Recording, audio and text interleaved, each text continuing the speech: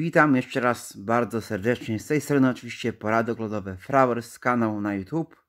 Witam oczywiście wszystkich widzów, drodzy Państwo. Dziś materiał na temat Sanseverii. Jak dbać mniej więcej Sanseverię, inaczej tak zwaną języki teściowej. E, jak widzimy tu mamy oczywiście cięcie tej Sanseverii, bo próbowałem rozmnożyć tak dalej. No i dziś będzie e, o jak dbanie o Sanseverię E, jakie podłoże, tak dalej. No i też myślę, że parę wskazówek o tym, jak rozmnożyć taką sanseverię. Jeżeli chodzi o dbanie, o dbanie, to podobnie jak filodendron, ziemia przepuszczalna, e, nawodnienie, e, jak powiedzieć, raz na dwa na trzy tygodnie w okresie zimowym, raz na, raz na, raz na dwa albo raz na trzy tygodnie. Nawóz może być też do roślin zielonych, biohumus, no biohumus nie za bardzo, ale nawóz oczywiście do roślin zielonych, bo to jest oczywiście roślina. Możemy też stosować, tak jak mówiłem w poprzednim filmiku Philodendron, nawóz Plant Lover, e, stymulator do roślin wzrostu. Może nam taki mniej więcej duży, bo oczywiście tym podlewałem niestety rośliny e, stymulatorem wzrostu i tu widzimy, że puścił nam nowy listek, tak dalej. Tu mam oczywiście zasadzone też do tej doniczki, oczywiście mam zasadzone, e, tu mi się oczywiście wykiełkował chyba fiorek alpejski i tu mamy kaktusika, który troszeczkę urósł, dosyć spory. Jeżeli chodzi o Sanseverię, o doniczki, o co ja gadam, o języki teściowe, to tak jak mówię, podłoże przepuszczalne najlepiej nie przelewać, tak dalej. Stosować nawóz raz na 3 tygodnie w okresie zimowym. Jeżeli oczywiście potrzebuje, najlepiej sobie kupić taki nawóz całoroczny, taki jak więcej Plant Lover ma. Yy, stosować go yy, raz na 3 tygodnie. Yy, to samo możemy zmieniać nawozy, tak? Możemy zmieniać. Z tej filmy Plant, Plant Lover, tak? Plant Lover to możemy oczywiście zmieniać raz na miesiąc możemy zmieniać nawozy, tak? Nie ma problemu i możemy tym nawozem raz na 3 tygodnie podać. Później wracamy do, y, oczywiście pojawia się oczywiście luty, okres zbliża się wiosenny i od lutego do października y, co dwa tygodnie nawozimy sanseverię, dbamy, podlewamy tak dalej normalnie. E, oczywiście podlewamy raz na dwa tygodnie, nawet raz na trzy, rzadziej. E, oczywiście też pamiętajmy o tym, że możemy nawet zapominać o Sanseverii. Nic się się praktycznie nie stanie, nie powinno. E, także myślę, że będzie też taka duża, jak teraz jest obecnie. Tu oczywiście próbowałem to rozmnożyć i tak dalej. Niestety się nie udało rozmnożenie, ale na szczęście nic nie ucierpiała, także jest w miarę zdrowa.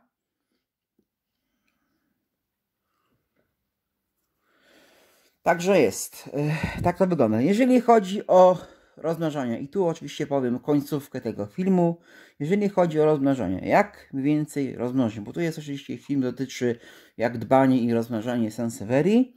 No oczywiście odcinamy liść mniej więcej nie tak jak ja, tylko po prostu równo odcinamy. Yy, namaczamy to w ukorzeniaczu i po prostu wkładamy do świeżej, posadzonej ziemi. Oczywiście tu zastrzegam, żeby od razu tego nie podlewać.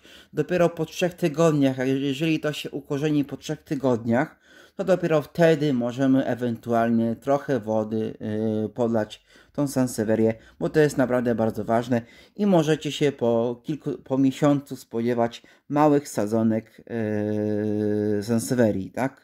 Tak to mniej więcej wygląda, jeżeli chodzi o dbanie i o rozmnożenie. Pamiętajmy też, żeby równo to obciąć, bo ja niestety miałem tak, jakby to mniej więcej widzicie, troszeczkę jest nierówno, tak dalej, ale tu w miarę jest ok, ale tutaj no już jest jakoś tak dziwnie obcięte. Nie wiem, czy to jest tak dobrze widać. No powiedzmy, że tu jest tak troszeczkę równo, tak? Ale praktycznie tu z tej strony no niestety nie jest równo, tak? Także tak to wygląda. Ziemia przepuszczalna, nawóz raz na e, 3 tygodnie, e, podlewanie raz na 2 tygodnie, raz na 3 tygodnie. Różnie to wygląda, ale w okresie zimowym to polecam e, podlewać raz na 3 tygodnie, bo w domu możemy mieć e, powietrze wilgotne, może być dużo wilgoci, możemy mieć przez tą zimę, przez ten okres zimowy i pamiętajmy, żeby bardzo rzadko podlewać nasze rośliny, przede wszystkim Sanseverię czy też Philodendrona. Także, drodzy widzowie, drodzy Państwo, tyle z mojej strony, jeżeli chodzi o dbanie o Sanseverię, e, o Sanseverię właśnie, o języki teściowej, inaczej mówiąc. E, także e, oczywiście tyle z mojej strony i mam nadzieję też, że niektórzy z Was może też kupią te nawozy Plant Lover i po prostu będą zaskoczeni efektem, jakie efekty dają na tych roślinach kolekcjonerskich, bo oczywiście Sansevieria czy Philodendron to są rośliny kolekcjonerskie, także ja zachęcam do zakupu. Oczywiście w poprzednim filmie będzie też e, tam e, będzie się znajdować filmik, e, nie filmik, przepraszam, link do zakupu jakby powiedzieć tych nawozów plantowych. Także ja oczywiście zapraszam do zakupów, zachęcam. No i oczywiście tyle z mojej strony, bo to był krótki materiał o dbaniu Sanseverii, język teściowych i oczywiście e, dbaniu i rozmnażaniu. Także jak widzicie macie dwa w jednym, w jednym filmiku, także nie ma za co. Mam, mam nadzieję, że Wam pomogłem.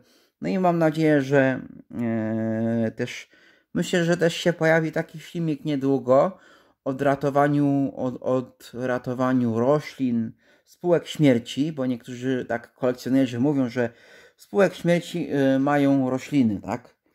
I oczywiście by chcieli je uratować. No i ja oczywiście pokażę, jak to więc wygląda. Już jedną roślinę oczywiście Wam pokazałem na poprzednim filmiku. To był właśnie filodendron, on był oczywiście spółki śmierci. No i jakby to powiedzieć, y, udało się mi go przywrócić do życia. Oczywiście tutaj chciałem też powiedzieć, że dzięki oczywiście nawozom plant lover Także cóż, drodzy moi widzowie, drodzy Państwo, dziękuję Wam za e, uwagę. No i no cóż, do zobaczenia.